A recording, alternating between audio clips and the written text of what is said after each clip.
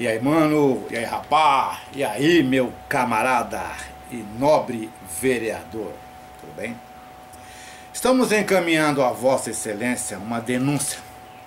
Denúncia de um local onde podem ocorrer acidentes, deslizamentos e até morte. Trata-se da rua Padre Manuel da Nóbrega, lá no Jardim Canaã entre ali o Jardim Guatemi e a terceira divisão aqui na Zona Leste. Estamos enviando a você um encaminhamento para que você tome as devidas providências. Por quê? Porque o que está acontecendo lá, o prefeito já sabe, a Defesa Civil de São Mateus já sabe, a Sabesp quer fazer o trabalho e não faz, e a Eletropaulo não pode trocar os postes de madeira.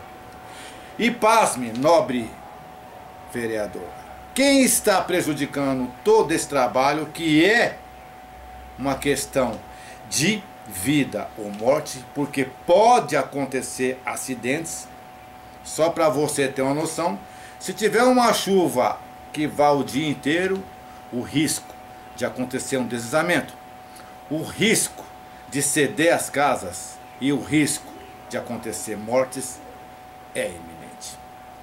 É na rua Padre Manuel da Nóbrega.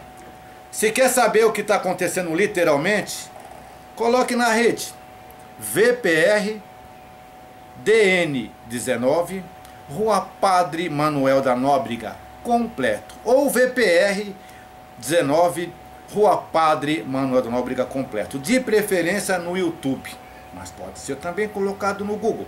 E você vai ver o jogo completo. Um local onde está sendo regularizado, está havendo lá uma regularização, as casas já estão recebendo todo a documentação. E justamente quem tem de dar aí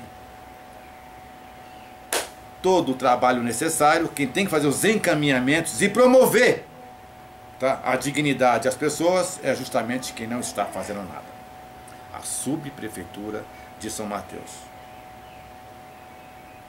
Já antecipo, já antecipo para o nobre vereador que é bom tomar providências, porque nós estamos enviando esse ofício exatamente para mostrar para Vossa Excelência o que já mostramos para o prefeito o que já mostramos para a subprefeitura, o que a Sabesp e a Defesa Civil, os únicos que fizeram a sua parte. E também estamos enviando esse ofício ao Ministério Público. Então o nobre vereador não vai poder dizer que não está sabendo de nada. Contamos com os encaminhamentos necessários. Qualquer informação adicional, entra em contato aí pelo telefone que está no ofício. E você já me conhece sabe que o nosso trabalho é sério.